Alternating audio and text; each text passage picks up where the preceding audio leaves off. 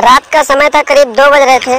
जब इरफान की नींद खुली तो उसने देखा कि उसकी पत्नी उसके बिस्तर पर नहीं थी तो अपनी पत्नी को ढूँढने लगा।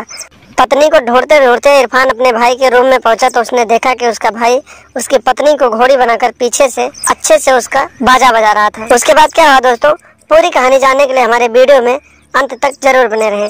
नमस्कार दोस्तों, स्वागत है आप सभी का हमारे A S N crime affair channel में। दोस्तों A S N crime affair channel को सब्सक्राइब कीजिए वीडियो को लाइक कीजिए और वीडियो को ढेर सारा शेयर भी कर दीजिए दोस्तों। दोस्तों, चढ़ती जवानी और हवस की ये कहानी मध्य प्रदेश के भोपाल ज़िले से सामने आई है। यहाँ के रहने वाले इरफान की शादी लगभग आठ साल पहले शबाना नाम की एक लड़की से हुई थी, जिसके पास तीन बच्चे भी थे। दोस्तों, अपने घर में इरफान सबसे बड़ा था तो पूरे घर की ज़िम्मेदारी इरफान के ऊपर थी और अपनी ज़िम्मेदारी निभाने के लिए इरफान अक्सर शहर में जाकर पैसे कमाता रहता था। दोस्तों, जब इरफान शहर चला गया तो उसकी जवान बेबी घर में अकेली रहती थी और फिर उसकी जवानी उफान मारने लगी। और जब इरफान की बेबी सवाना खुद को कंट्रोल नहीं कर पाती थी तो वो एक ठुकाई ऑपरेटर की खोज में लग जाती थी। दोस्तों, ऐसे कई दिनों तक तो चलता रहा। और एक दिन इरफान के छोटे भाई को इस बात की जानकारी हो गई कि उसकी भाभी जब अकेली रहती है तो अपनी प्यास बुझाने के लिए तड़पती रहती है। और फिर इरफान के छोटे भाई ने अपने भाभी से नजदीकियाँ बढ़ा ली और फिर उसकी अच्छे से ठुकाई करने लगा। एक दिन की बात है दोस्तों, इरफान शहर से घर आया हुआ था, रात के करीब दो बज रहे थे। जब इरफान की नींद खुली तो उसने देखा कि उसके बिस्तर पर उसकी बीबी नहीं थी। पूरे घर में उसने अपनी बीबी सवाना को ढूंढा।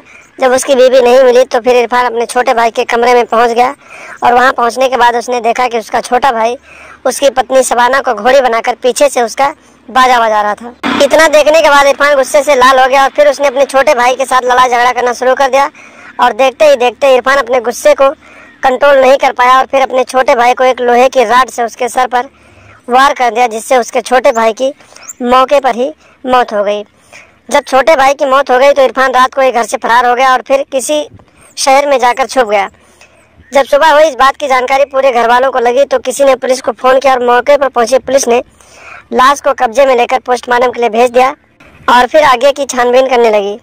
दोस्तों, जब पुलिस ने इरफान की पत्नी को हिरासत में लिया और पूछताछ करने लगी तो इरफान की पत्नी ने पुलिस वालों को सारी सच्चाई बता दी और जब बाद में पता चला कि इरफान की पत्नी का अपने देवर के साथ गपागप वाला रिश्ता था, जिसकी जानकारी इरफान को लग गई थी, उसके बाद इरफान ने अपने भाई को जान से मार दिया। फिर पुलिस ने इरफान को ढूंढा और लगभग पंद्रह दिन बाद पुलिस ने इरफान को हिरासत में लिया और गिरफ़्तार करके आगे की कार्रवाई के लिए जेल में डाल दिया।